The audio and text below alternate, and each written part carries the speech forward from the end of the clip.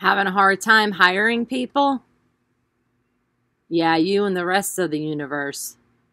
But guess what? Who in their right mind would take a job that risks their lives, aka getting COVID and dying, for 16 to 22 bucks an hour? Why 16 to 22 bucks an hour? Because that's what unemployment is paying. Right, wrong, or indifferent. If you're not paying, what they can get by staying at home and staying safe, then your budget or lack of budget is actually the problem.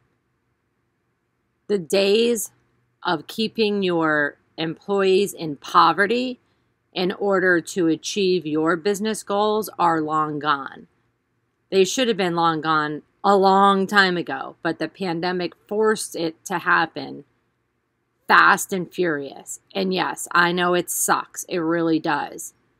But the only way you're going to get qualified employees, and I mean truly qualified, not just the qualifications you make up in your head, but truly qualified employees to do your job is to keep your employees out of poverty. And maybe pay them enough so they don't have to work two or three jobs and come in exhausted to yours. So that brings me to training and development.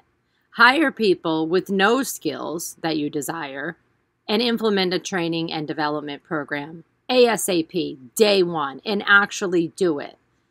That's the other thing that I see all the time is the first budget item to go is training and development, and then you wonder why your employees walk out that door.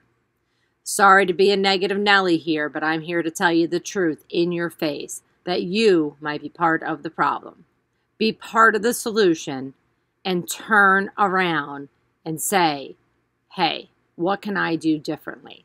Let me hire people who have no skills or very little skills, but a great attitude and willingness to work for a decent pay. It's really not brain surgery, but it does mean you're going to have to dust off your budget and all the income and revenue that you thought you were going to put in your pocket and start sharing it with the employees who work so hard to get you where you need to be. And if you can't do that, it may be time to go work for somebody else because a true business owner treats their employees well and doesn't expect to get rich off of keeping their employees in poverty.